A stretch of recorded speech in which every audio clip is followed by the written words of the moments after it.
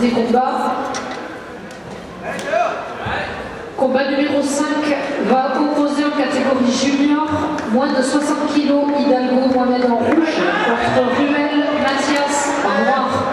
Se prépare, toujours en catégorie junior, Ben Chaban Imad en rouge, contre Cabo Cédric en noir.